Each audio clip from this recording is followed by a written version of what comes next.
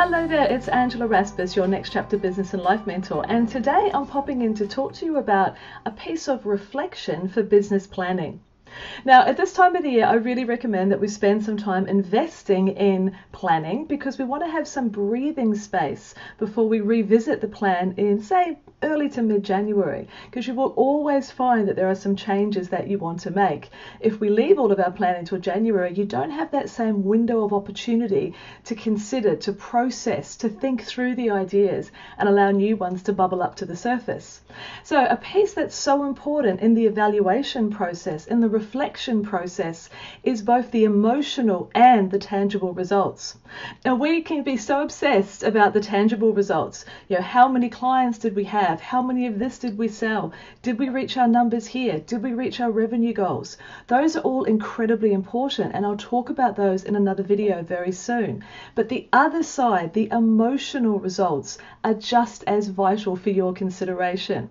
Now, by emotional results, I really mean looking at the services that you chose to deliver to the world and see how you felt about them.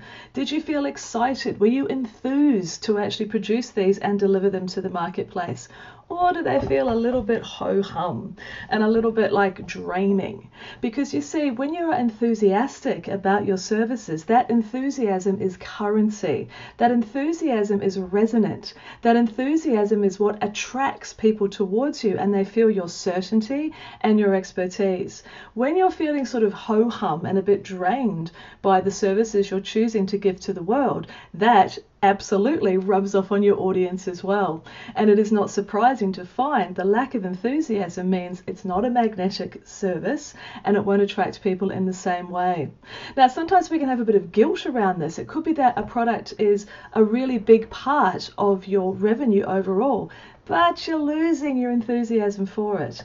Well, that's when it needs a next chapter.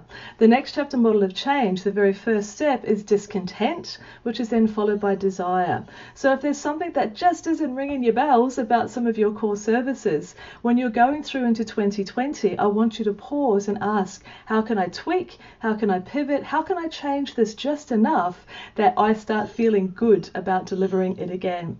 Now that's an emotional reward which will really serve you well as you go through into 2020. So, as a part of your evaluation process, don't forget to look at that. Now, this is just one tiny piece of the next chapter review and renew workshop that I'm running in mid November. Now, this is something I've done for the last five years. It runs over five days, it's virtual, it's completely free, and it will change your whole approach to your business in 2020. I'd love to welcome you in, and I'll pop the details below this video. Take care.